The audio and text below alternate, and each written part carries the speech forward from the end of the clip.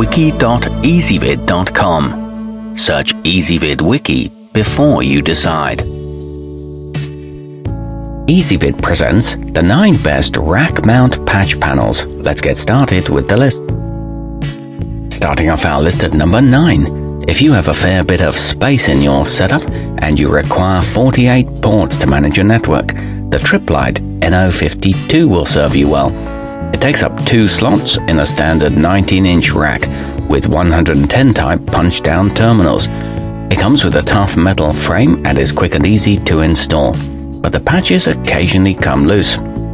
Coming in at number 8 in our list, the UL compliant Cable Matters RJ45 is a Cat6 device that's backward compatible with Cat5e Ethernet. This means you can use it to upgrade your current setup and it's ready to work with new connections you might need.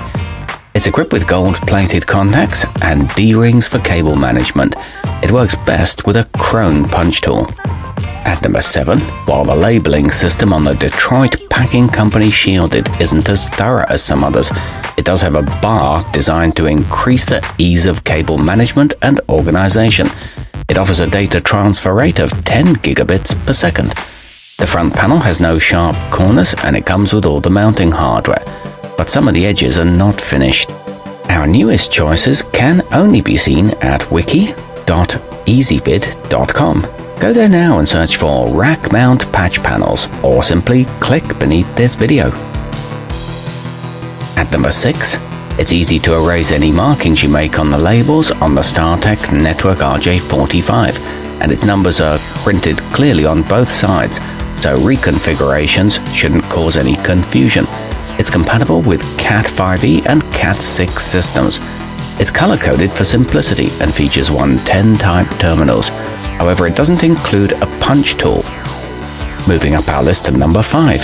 If your setup incorporates some old Ethernet standards, you'll appreciate that the TrendNet Cat6 TC P48C6 is backward compatible with categories 3, 4, 5 and 5E, giving you plenty of flexibility. It boasts 250 MHz connections and diagrams that are easy to understand, but the ports are unshielded. At number 4, the Ampcom Keystone is designed for Cat7 networks, and though it doesn't provide a speed increase necessarily, its 600 MHz bandwidth helps to prevent interference. It includes a grounding wire and good cable management. However, there's no space for labeling. Nearing the top of our list at number 3, if you have a large number of connections to manage, the Tripp Lite 48-port Cat6A is worth considering. Its 48 shielded RJ45 coupler jacks all meet or exceed Cat6A specifications and provide fast data transfers. The organization bar keeps things neat and it's also available in smaller configurations. Requires no punch-down termination. Our newest choices can only be seen at wiki.ezvid.com. Go there now and search for rack mount patch panels or simply click beneath this video.